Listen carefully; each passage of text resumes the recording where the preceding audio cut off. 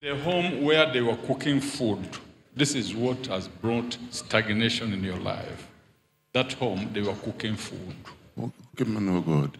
Cooking food, you can find that they cook, either they sell food, like that, because I see the saucepans, whatever they're cooking food. Oh, yes. What the man of God has said is really true.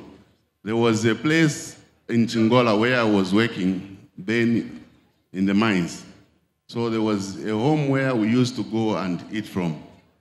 At one time, the owner of that home, who was a lady, um, approached me that she wanted to uh, borrow some money.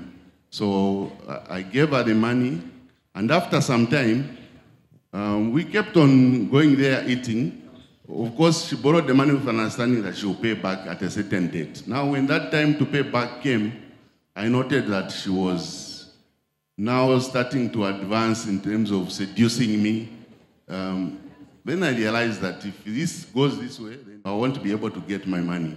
I insisted that I needed to get the money, though we kept on going there to eat until finally she paid off the money, and uh, that's how I stopped eating from that place. But it never took long. Um, from that time, my job was retrenched. That's how I lost my job at, at KCM Mines. So I confirm that indeed the prophecy is true from the man of God, that my stagnation Come, come. came as a result of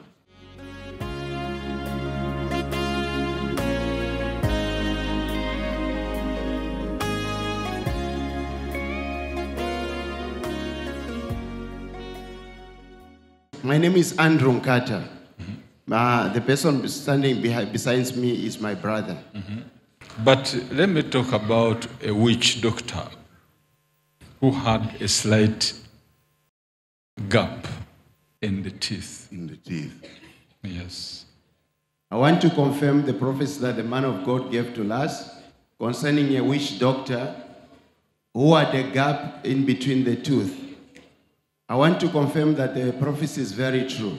When we were still young, and specifically in the year 1986, uh, my father got sick just after he was retrenched. And, af- and after that, uh, my mother and my father sought to go and, uh, uh, and inquire from the witch doctor. It is late. Yes, he had a gap, yes. So when they went there, there they were told that somebody did some wish, uh, some wish uh, magic on our father. So uh, they were given a certain kind of a stick, and uh, there was some beads also that were there. So they were told to say, uh, upon arriving home, you put it on your head. Then you gather all your children and uh, tell them to, to, to behave as though they're handling something in their hands. Then they look back whilst closing their eyes and throw it and cast it, as they say, that uh, thunder fall away from us. So we declared all those words. So in the night of that day, whilst the stick that was given to our father was on their head, they came to tell us when we were old enough now that uh, the same stick that they had acquired produced light in the night. So I confirm that the prophecy that the man of God said is very true. As he said that uh, this is what has affected your lives. So the prophecy is very true. Ever since that time, uh, the life started to crumble, both with our parents and us as children.